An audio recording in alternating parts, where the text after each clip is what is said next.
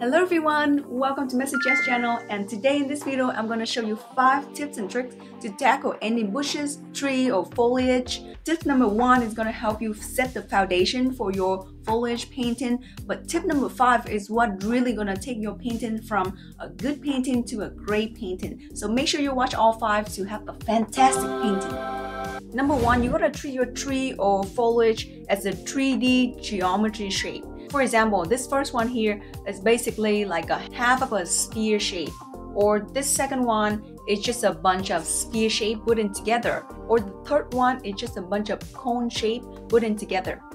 So drawing 101, we all know how to draw a sphere. So we have the highlights and the shadow. So keep that in mind. We're gonna apply the exact same thing, the very basic thing here for the tree and the foliage. Once you start treating them as these geometry shape, having the shadow and highlight, it's gonna make your painting look so much better and so much easier to tackle any sort of trees or foliage. Now tip number three is to have a different hue for your shadow and highlight. Now you notice here I have all different colors for my shadow and highlights. The first one I have a dark blue color for my shadow and then I have a yellow for the highlight.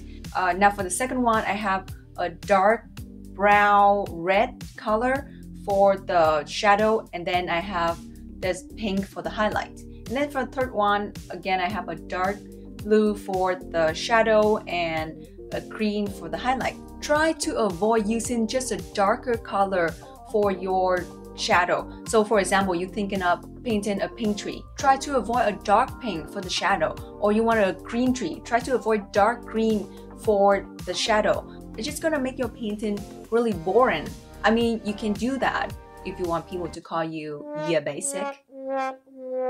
Yeah, so just have two different color for your shadow and highlights will really make your foliage pop and more eye-catching. Tip number three is to have perspective for your foliage. Now some of you may go, what? I thought perspective is only for cityscape or structure building.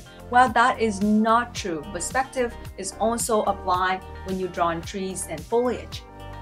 So just keep in mind your foliage also have perspective and that means the foliage in the front of the painting gonna appear more vibrant, more saturated than the one in the back. So for example, this one right here, I'm just gonna use a soft brush to paint a little atmosphere on the edge of these tree here so they appear to be desaturated in the background, giving you more of that 3D illusion.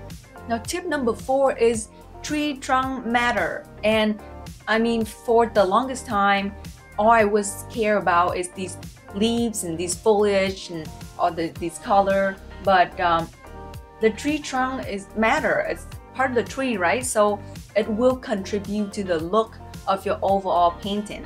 And keep in mind, tree trunk is not always just brown color or dark brown. They have all sort of color. They can be light blue, dark blue, gray, pink as well. So it depends on the environment, on your leaf, on the season that you're trying to paint. Your tree trunk can have different color. And remember, just like the foliage, your tree trunk gonna have shadow and highlights as well. And tip number five, it took me a while to figure this out. So sometimes an artist teach you how to draw foliage and then you follow them step by step and at the end your painting still not look as good as there and you wonder why because you follow the exact same step. Well let me tell you that is because of the environment the background of the foliage.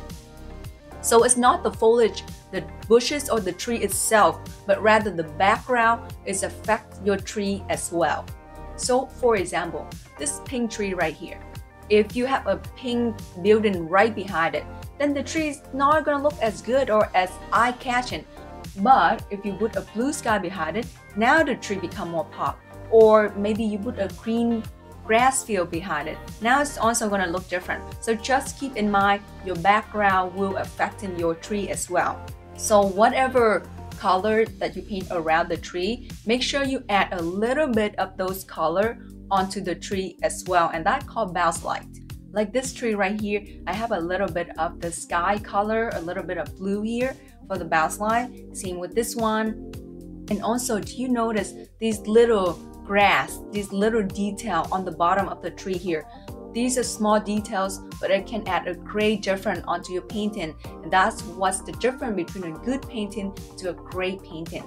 So I hope these five tips helpful for you and you can go on and conquer any foliage, any tree painting. And if you find it helpful, don't forget to hit that like and subscribe button. Thank you so much for watching and we'll see you in the next video. Bye!